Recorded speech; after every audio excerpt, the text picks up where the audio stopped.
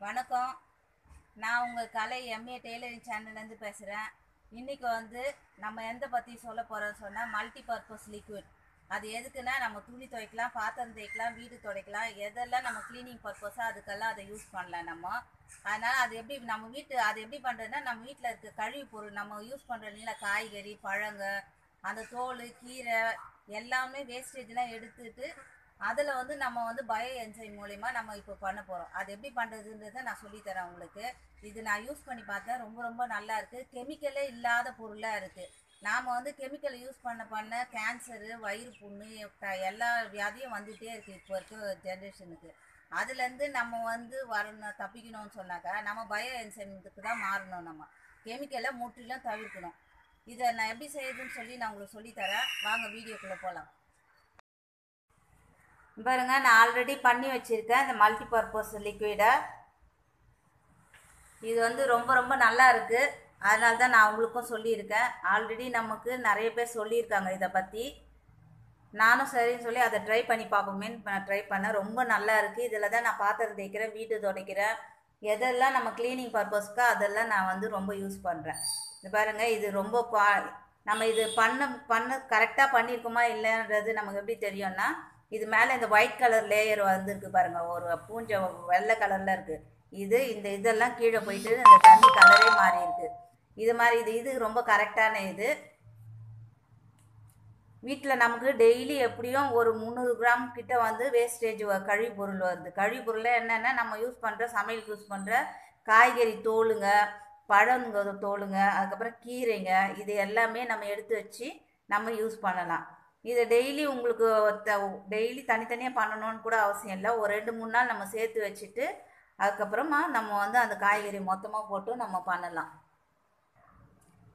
இதை செய்கிறதுக்கு மெஷர்மெண்ட் இருக்குது என்னன்னு சொன்னாக்கா ஒரு பதினஞ்சு அளவு கொள்ளளவு உள்ள ஒரு பாத்திரத்தை எடுத்துக்கணும். பத்து அளவு தண்ணி ஊற்றணும் அதுக்கப்புறம் மூணு அளவு காய்கறி கழிவுகள் நம்ம போடணும் அதில். ஒரு பங்கு வந்து நாட்டு சர்க்கரை நாட்டு சக்கரை அப்படி இல்லைன்னு சொன்னாக்கா நம்ம வெல்லம் யூஸ் பண்ணலாம் சரிங்களா? நான் வந்து ரெண்டுமே யூஸ் பண்ணுவேன். எதனா ஒன்று வெல்லமும் யூஸ் பண்ணியிருக்கேன் நாட்டு சர்க்கரையும் யூஸ் பண்ணியிருக்கேன். ரெண்டுமே நல்லா தான் வந்துருக்கு. இது பாத்திரம் தேய்ச்சா அப்படியே நல்லா அந்த எண்ணெய் பிசுக்கு அழுக்கு எல்லாமே நல்லா போகுது. உங்களுக்கு கெமிக்கலே இல்லாமல் நம்மளுடைய பொருள் பாத்திரம்லாம் இவ்வளோ சுத்தமாகுதுன்றது எவ்வளோ ஒரு நல்ல விஷயம். நமக்கு இவ்வளோ நாள் தெரியாமல் இருந்தது. எப்போ பார்த்தாலும் நம்ம கெமிக்கலுக்கு எங்கே திரும்பினாலும் கெமிக்கல் தான். எது எடுத்தாலும் கெமிக்கல் தான். இப்படி கெமிக்கலை யூஸ் பண்ணி யூஸ் பண்ணி நம்ம ஹெல்த்து தான் ஸ்பாயில் ஆகுது. அது நான் சீக்கிரமாக முடி நரைக்கிறது நிறைய நமக்கு வந்து நிறைய பாதிப்புகள் நமக்கு வருது. அதனால் வந்து அது கெமிக்கலை யூ முடிஞ்ச அளவு கெமிக்கலை தவிர்த்துடுங்க.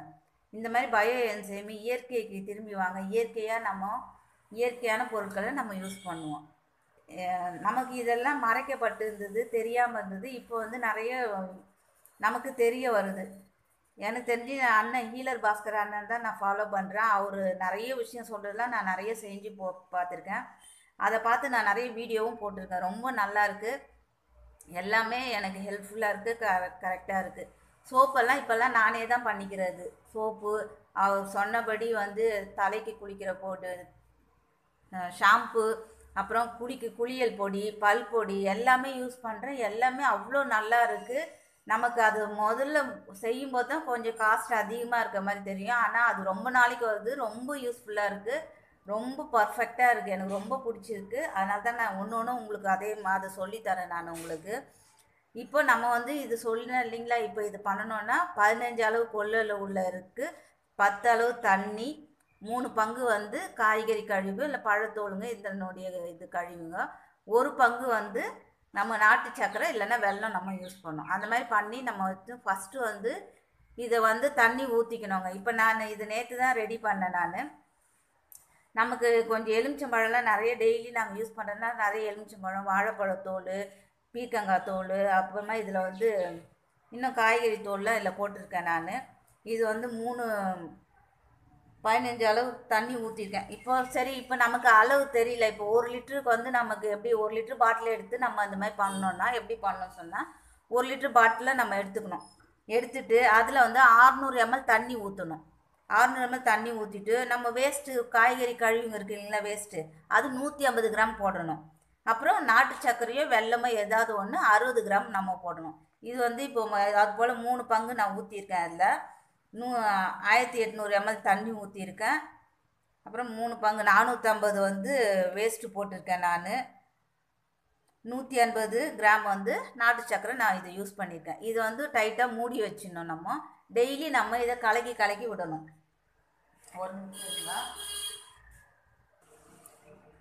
இது மாதிரி நம்ம ரெடி பண்ணி வச்சுட்டு நம்ம டெய்லி மூடி வைக்கணும். மூடி வச்சுட்டு டெய்லி காலையில் உங்களுக்கு எப்போ டைம் கிடைக்குதோ ஒரு ரெண்டு மூணு டைம் இதை வந்து நல்லா கலக்கி விட்டுட்டே வரணும். இது போல் முப்பது நாள் கலக்கிட்டு நம்ம மூடி வச்சிடணும்.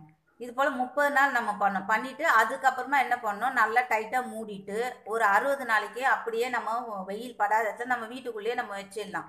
வெயில் படாமல் இது வச்சிடணும் அதுக்கப்புறம் எடுத்து மொத்தம் தொண்ணூறு நாள் ஆகிட்டோங்களா அதுக்கப்புறமா நம்ம எடுத்து இது யூஸ் பண்ணலாம். இது வந்து ஒவ்வொன்றுக்கும் ஒரு ஒரு அளவு இருக்குது நான் அந்த அதுக்கு தனியாக ஒரு வீடியோ வேணால் உங்களுக்கு போடுறேன். எல்லாமே துடைக்கிறது. இது இது வந்து டைரெக்டாக இந்த லிக்விட் வந்து நம்ம பல்லெலாம் படாமல் இருக்கணும். ஏன்னா இது வந்து அப்படியே அசிட்டிக் ஆசிடாக மாறிடுது. அதனால் நம்ம பல்லில் மட்டும் படக்கூடாது. நல்லா டைல்யூட் பண்ணிவிட்டு அதுக்கப்புறமா வேணால் நம்ம யூஸ் பண்ணலாம் இதை. இது கண்ணாடி பாட்டிலில் செஞ்சோம்னா கண்ண நமக்கு வந்து சம் நம்ம வினிகரை நம்ம யூஸ் பண்ணிக்கலாம்.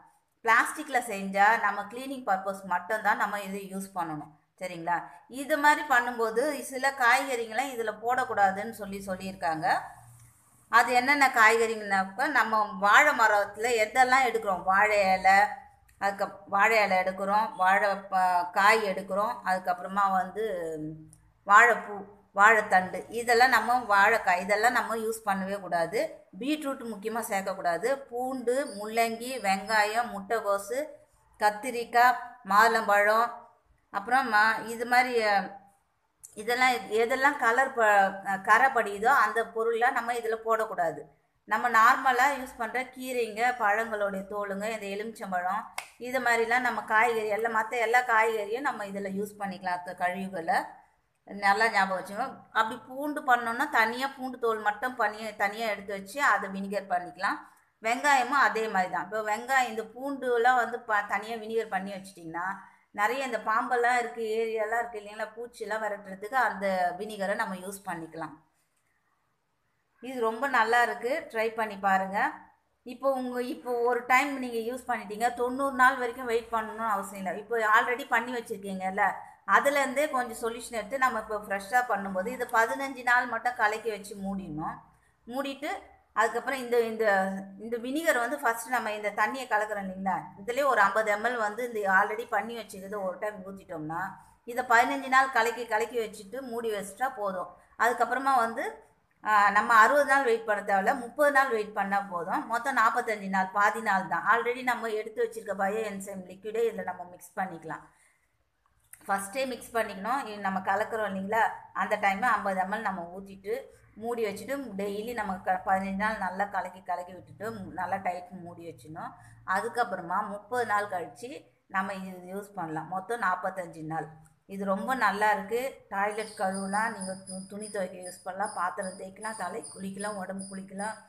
பறை துடைக்கலாம். எல்லாத்துக்குமே ரொம்ப நல்லா இருக்குது பிசுக்கெல்லாம் அவ்வளோ நல்லா போகுது பாருங்கள் ரொம்ப நல்லா இருக்குது பாத்திரம் வந்து என்ன ஒன்று நமக்கு வந்து நுரை தான் கிடைக்க மாட்டேங்குது. அந்த நுரைக்கு பதில் நம்ம என்ன பண்ணோம் பூந்திக்காய் வாங்கிட்டு பூந்திக்காயை நல்லா ஊற வச்சுட்டு அந்த அந்த தண்ணியை வந்து கொஞ்சம் லேசாக கொதிக்க வச்சு அந்த தண்ணியை எடுத்து நம்ம யூஸ் பண்ணிக்கலாம். நமக்கு நுரை வேணும்னு சொன்னாக்க.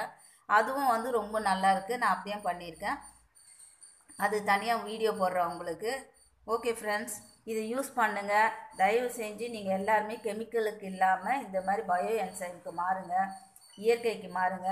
சோப்பு போ சோப்பெல்லாம் எப்படி பண்ணுறதுன்னு சொல்லிட்டு அது ரொம்ப ரொம்ப கம்மி விலையாக இருக்குது ரொம்ப பியூராகவும் இருக்குது நல்லா நுறவது நல்லா இருக்குது அதெல்லாம் யூஸ் பண்ணுங்கள் என்னுடைய சேனலில் நிறைய இயற்கை வைத்தியம்லாம் போட்டிருக்கேன்.